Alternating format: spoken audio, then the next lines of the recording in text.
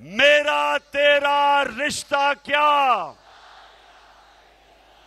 और ला इल्लल्लाह का मतलब मेरे का पाकिस्तानियों, शेखपुरा के मेरी, खास तौर पे आज मैं अपनी बहनों को खुशामदेद कहना चाहता हूँ। जब पाकिस्तान की तहरीक चली थी तो उसमें मेरी वालदा, उनकी बहनें, सबने शिरकत की थी। तहरीक पाकिस्तान में।